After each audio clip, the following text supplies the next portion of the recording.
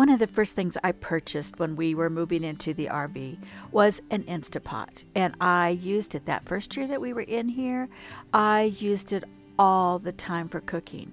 I find that things like this save a lot of time. Now, I know that slow cookers are kind of nice too because you can put everything in it, let it cook throughout the day. And the nice thing about an Instapot is that you can use it as a slow cooker as well. But so many times, especially because I'm still doing some work from home, I find myself waiting till kind of sort of the last minute to get dinner going. And it really depends on how long I work that day. And then what happened was the fryers came out, and we wanted to have an air fryer. However, because our kitchen is so small, like yours in an RV, we really debated about what, what should we do? Buy a whole nother fryer, have another appliance to try to store, and instead what we did is we gifted our Instapot to someone who was in need of one, and then we bought this fryer Instapot combination. Yes, I'm aware that Instapots can be quite expensive depending on which one you actually buy.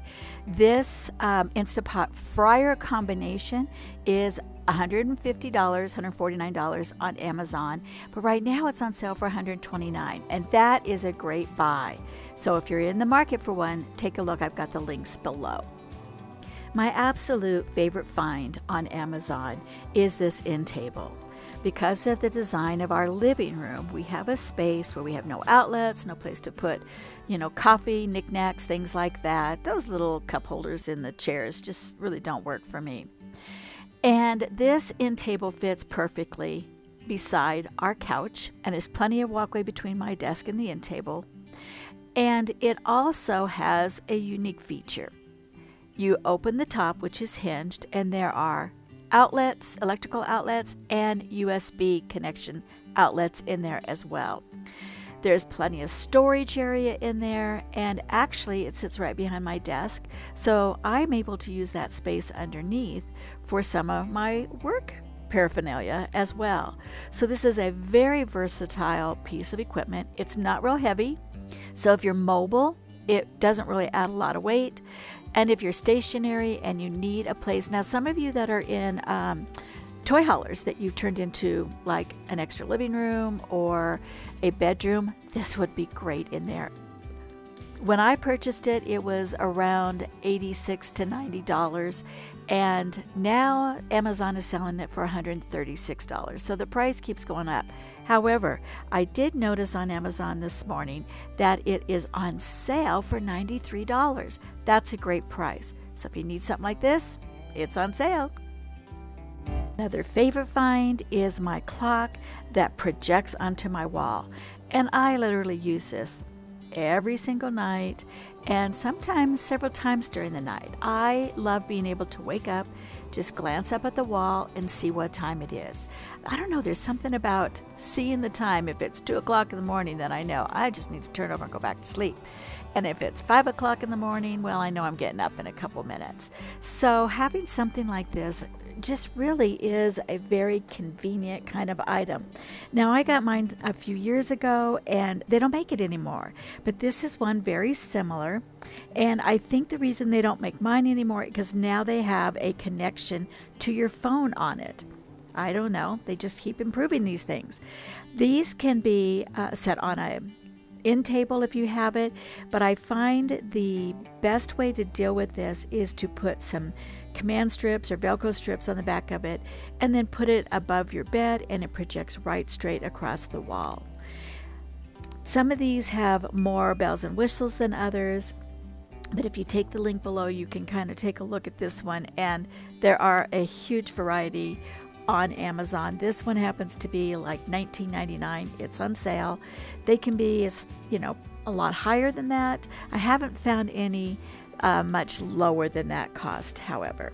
I've always been a person who likes green plants in their home. You know, research tells us that plants give us nice oxygen and they can take out the harmful chemicals and different things that are in our homes. And I do believe, although I haven't done the research, that there's some, you know, funky smells that sometimes happen in an RV, especially a new one. And having some green plants allows that air to be recycled somewhat. Now, I know if you're mobile, that's very difficult to do. And you don't have a lot of space, especially on the floors or on shelves, to put a lot of green plants. But if you can have at least one or two, that's a good idea. So I have one above my desk. Actually, I have two beside my desk one that's hanging and one's on top of the credenza. And then I have some fake ones because I also just think that illusion of plants and greenery gives you a feeling of comfort, especially making it more of a home.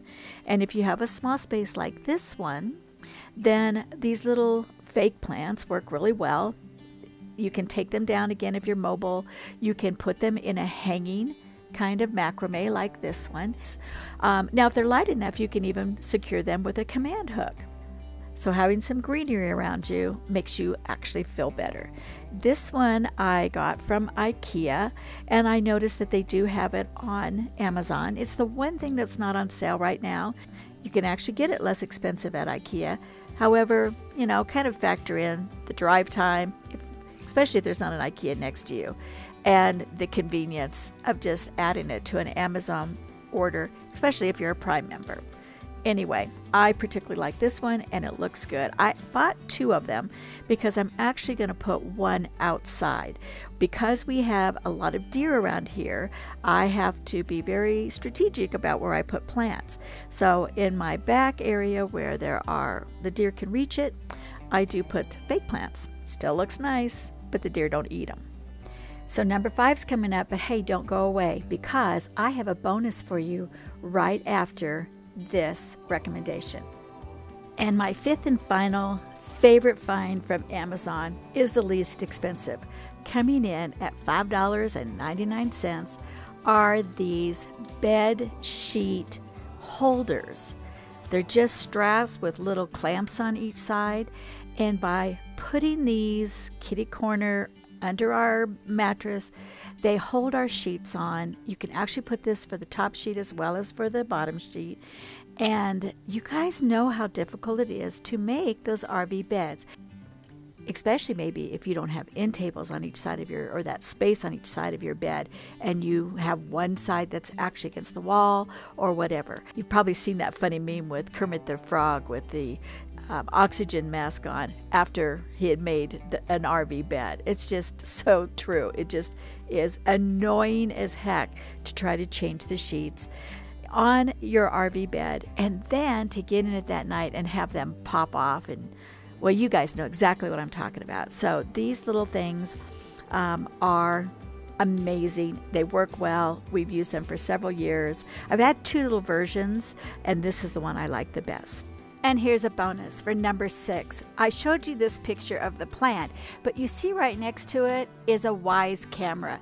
And that is something we purchased fairly early on in our living in the RV, and we are so glad we did. Now, we have several of these. Uh, this is the only one we have inside, but we have one outside on our porch underneath that topper that allows us to see and hear anybody that comes to our door or on our porch, and when we get an Amazon package. We also have one on the deck behind Mr. Bear that shows us what might be like a deer or a bear alongside our RV. And in the back, we also have a camera that shows our patio area. And again, we can check and see what kind of animals might be out there. And we have one in the tree, and this one actually shows behind our RV. So we have a nice view almost completely around the RV. And then finally, we have one out by our um, cars, which is underneath the tongue of the RV. Particularly, I know that you some of these, like on the porch, and the one right here under the RV, anybody could pick these up and you know take off with them. And I get that, but really we have them secured there so that we can see if there's any animals out, uh, you know, and most of the time if it's deer, or something like that, we're not so worried. But if there's a bear, we want to make sure the bear leaves before we go outside. So these cameras really do help. As a final picture, here is something we captured with our Wyze camera and to show how grateful we are that we have those and we do live in an RV community. We hope you enjoyed today's video and that you got a couple good ideas. If you liked it, would you please do us the favor of liking and subscribing? Thanks. Until next time, bye bye.